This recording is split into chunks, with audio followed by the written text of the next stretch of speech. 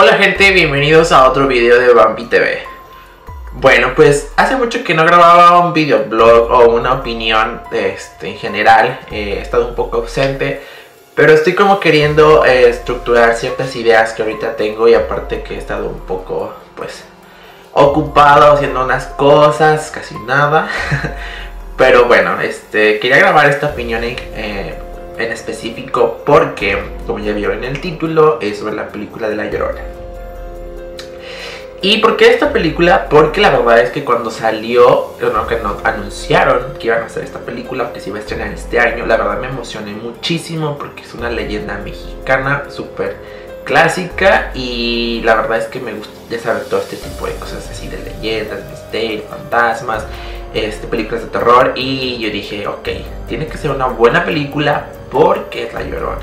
Después de ver el primer tráiler de la película, la verdad es que mi expectativa bajó mucho porque pensé que realmente no han habido como una película de La Llorona como que yo diga, wow, o sea, esta película es genial de La Llorona, ¿no? Y creo que todavía no sé si se puede hacer una película eh, buenísima de La Llorona, no, no sé, siento que es como, a lo mejor es demasiado cliché o a lo mejor demasiado, no sé, pero en fin, el chiste es que vi el tráiler cuando salió y algo que me emocionaron fueron dos cosas. Bueno, tres. Una que era La Llorona.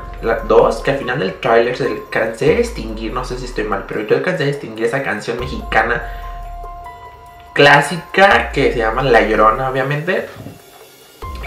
Esa canción me gusta mucho. Y aparte, el personaje, el padre Pérez, este sacerdote que sale en Annabelle 1.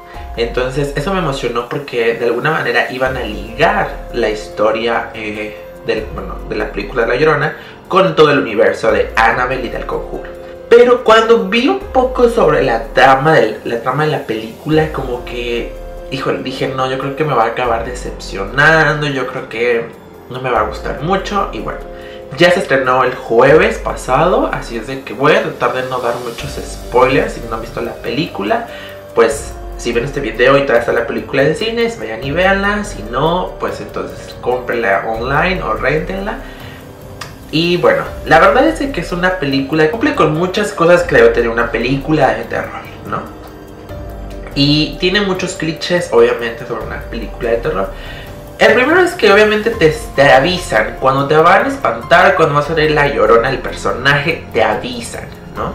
Eh, como que te prepara la escena y sabes que va a salir, este, que te van a espantar.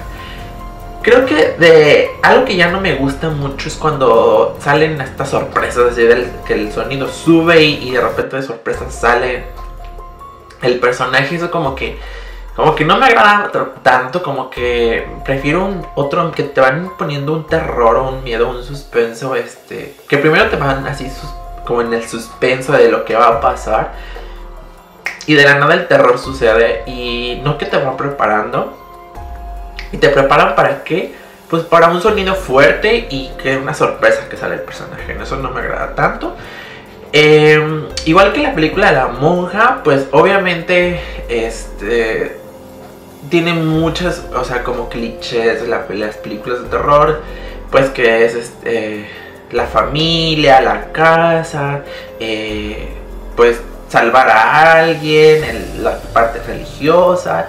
Algo que sí me gustó mucho bastante es que obviamente como es una leyenda mexicana, me gustó que respetaran esa parte de los hispanos, de los mexicanos, que al inicio de la película empieza, dice México 1673, y te dicen sobre que la, la, la llorona pues obviamente asesinó a sus hijos. Hay dos historias que yo conozco de La Llorona y realmente no sé cuál es la verdadera. En realidad hay una que dice que era la Malinche, la, mujer que traicionó al pueblo indígena de aquel entonces por irse con los españoles que iban a conquistar eh, pues, el territorio mexicano. Y otra que era una mujer en la época de la colonia donde se enamoró de un español y que este pues le estuvieron unos hijos y esta le engañó. Cuando ella se enteró pues de despecho asesinó a, los hijos. Esta es la que ellos cuentan en la película.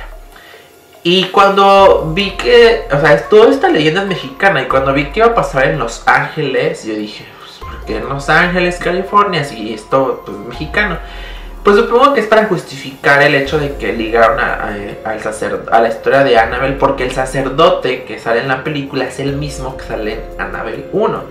Y entonces la película obviamente está situada en la época que sucede Annabelle 1, que es más o menos en los 70s. Y bueno, hubo una parte, hubo ciertas partes que sentí que estaba viendo el aro, porque había unos soniditos que de repente me recordaban a la película del aro, The Ring, y es una de mis películas favoritas. Y eso, los soniditos, de repente el personaje, villano así como blanco, cabello negro, largo, usa el agua como conducto para aparecerse. Eh, la madre tratando de salvar al, al, hijo, en este caso los dos niños.